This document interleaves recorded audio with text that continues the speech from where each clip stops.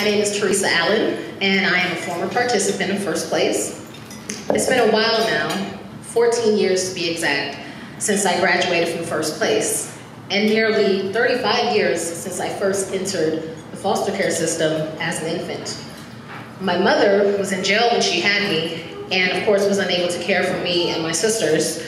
And after my father could no longer care for us alone, we entered the system when I was only about three months old.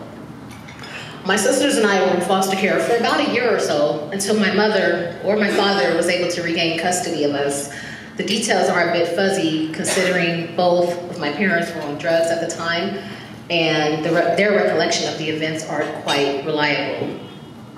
Eventually, my father took my sisters and me to live with him in Arizona and after five years of having a pretty normal and stable life, he struggled again to care for us on his own. So at the age of nine, my sisters, ages 10 and 12 at the time, and I, we all entered foster care again for good until we all aged out of the system at age 18. From ages 9 through 18, I lived in 12 different foster homes, mostly throughout San Francisco and down the peninsula, and one group home on a farm way out in Ceres, uh, way past Modesto, Turlock, if you're familiar with it, way out there um, in the middle of nowhere. My sisters and I were separated immediately, and for most of our duration in the system. Oftentimes we wouldn't know where each other lived, and when we would find out, we would write each other to stay in touch and send pictures and sometimes even send money when we got a little older. As you can imagine, moving frequently from home to home was exhausting and emotionally draining. You learn not to get too comfortable in one place and not to get too close to anyone, to protect yourself, and out of fear of rejection. Although I moved around a lot, for the most part, I was able to attend the same middle and high schools, even when it meant having to wake up in the wee hours of the morning and uh, take two buses, two long bus rides to get to school. School was the only constant in my life, it was familiar. It was where I got support and encouragement from teachers, coaches, and friends, even though no one knew I was in foster care. At the start of my junior year of high school, I was suddenly moved to the group home in Ceres. But I was a city girl. I didn't belong on a farm, and more importantly, I was 16 years old, and there was no way I was gonna let a social worker or anyone else tell me what to do. So when I was allowed to visit my sister for Thanksgiving in San Francisco, who at the time was 19 and lived with a boyfriend, I took the round trip Greyhound bus ticket I was given and never returned. I was technically a runaway for about six or seven months. More like a nerdy runaway because after I moved in with one of my best friends, I had one of my sister's friends sign guardianship papers and re-enrolled me back to my old high school in San Francisco. I then got a job at a movie theater AMC on Van Ness, right over there, and uh, was basically living an independent life. After about six or seven months, I knew I couldn't stay with my friend forever, and I didn't want to remain AWOL. So I finally returned my social worker's calls and agreed to move back into a foster home of a woman whom I was once close to and who had always been very kind to me. During this time, I started to seriously think about college and my future living situation. I realized that once I turned 18 and was no longer a ward of the state, I was responsible for myself. It would be up to me, not the state, to find somewhere to lay my head each night. It was up to me to secure my future and prepare for my transition into adulthood. College was always in my plans simply because I was studious and I liked to learn.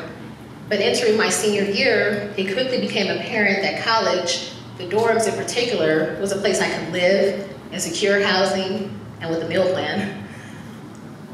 With the help of the Independent Living Skills Program, program that partners with First Place, which uh, the Independent Living Skills Program provided me a plane ticket, a computer, and a small scholarship and I attended Southern University, a um, historical black college in Baton Rouge, Louisiana. Needless to say, it was no San Francisco. It was really hot and flying bugs, and I, I, I couldn't do it. So, so after one semester, I returned back to San Francisco, moved in with a friend, and attended Laney Community College in Oakland. It was during this time that I heard of First Place. Through the Independent Living Skills program, I believe, I heard there was a program that provided housing to former foster youth, so I was like, sign me up. I think I already had the drive that I needed to successfully live independently, but First Place provided the keys, both literally and figuratively speaking. Not only did First Place provide subsidized housing, along with Safeway gift cards and BART tickets to go to and from school and work, which were extremely helpful to a 19-year-old full-time college student working part-time but also a friend, big sister, and role model in my youth advocate in Keisha Peacock. Her door was always open for the occasional drop-in or to give advice, support, or even just a hug. She was someone I could truly rely on and remain in touch with till this day. Without realizing it at the time, because First Place removed the stress and uncertainty of secure housing, provided a welcoming place I could go to at any time and a support system that cheered me on, I was able to focus on school and keep my plans intact. I eventually transferred from Laney to Cal State Hayward, just Cal State East Bay now, and graduated with my bachelor's degree in political science.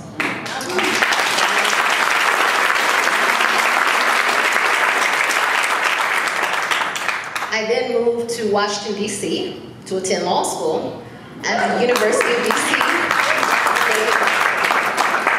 At the University of DC, David A. Clarke School of Law. Afterwards, I got my master's in law at, uh, from the George Washington University School of Law, also in DC. I then moved back to California, passed the bar exam, and now I'm a class action attorney.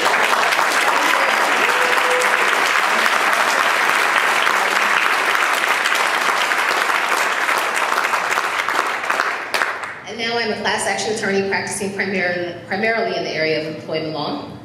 Together with my husband, we own our home and have three amazing children, ages two, four, and six. Yeah.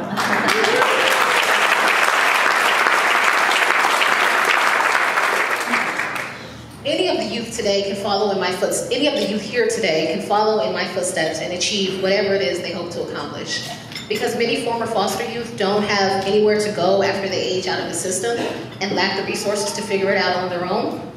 Programs like First Place are vital to the quest to beat the odds, obtain and maintain stable housing, and make the successful transition to independent living. I am forever grateful for my time in First Place and will continue to support it, and I hope you all will as well. Thank you.